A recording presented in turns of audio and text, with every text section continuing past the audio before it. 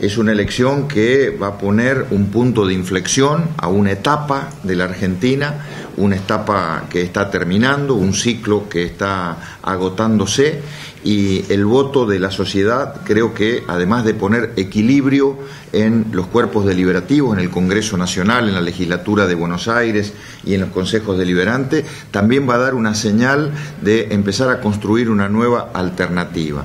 La Argentina necesita hoy fundamentalmente equilibrar su sistema político y además de eso poner eh, proa hacia el año 2015 donde vamos a discutir un nuevo proyecto, un nuevo modelo de país.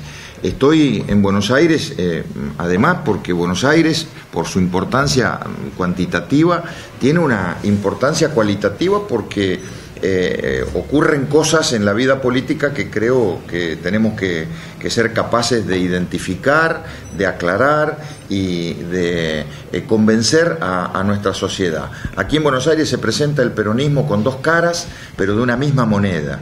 Es más de lo mismo lo que aparece como una eh, conformación renovadora o renovada o una alternativa diferente, que es la que encabeza Massa, no es más que lo mismo eh, que eh, representa el gobernador Scioli, lo mismo que representan ambos respecto al gobierno nacional.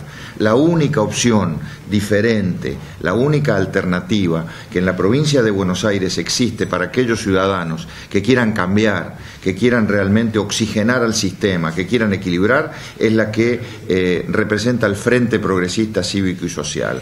Esa, es, por esa razón estoy también aquí, para dar ese debate, para dar esa discusión de cara al 27 de octubre. ¿Qué peso tiene las próximas elecciones lo que pasó en agosto?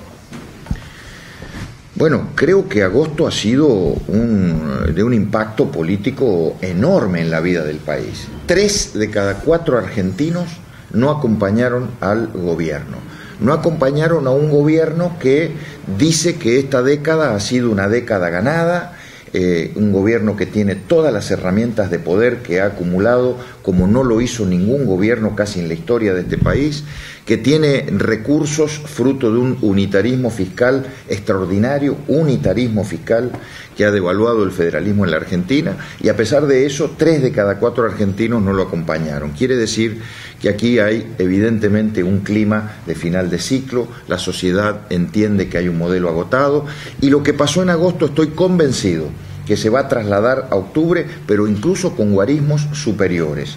En algunos lugares va a haber eh, diferencias mayores aún en contra del oficialismo. Les doy un ejemplo, en mi provincia, Mendoza, nosotros ganamos por el 44% a 26% al gobierno peronista y creo que vamos a llegar en octubre a más del 50%.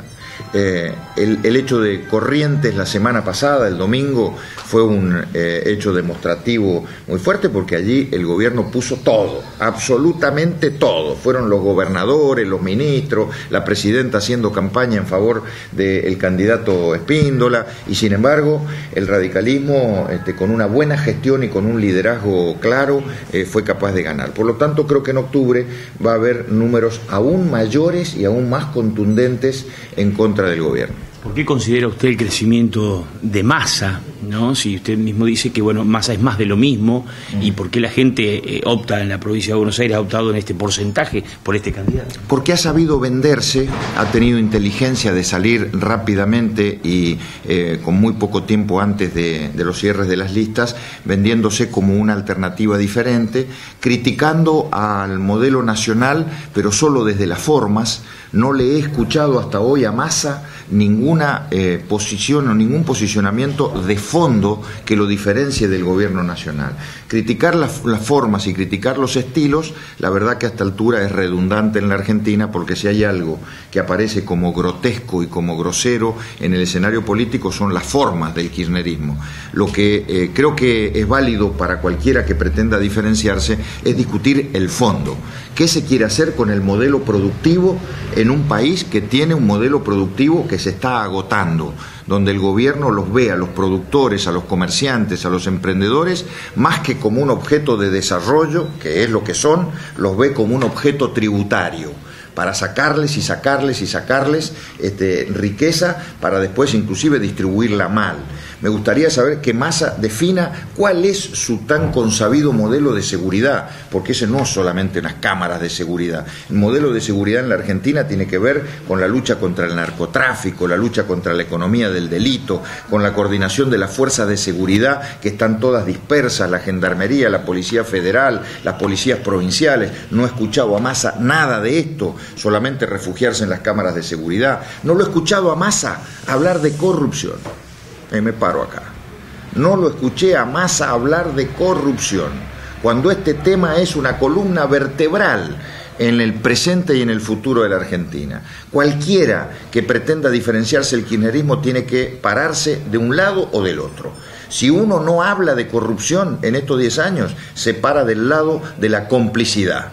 Si uno quiere diferenciarse, tiene que decir las cosas que estamos diciendo nosotros. Que si somos gobierno en el 2015, vamos a crear la CONADEP de la corrupción para generar pruebas y que la justicia meta presos a la gente que durante todos estos años se ha robado no solamente plata, sino la esperanza del pueblo argentino.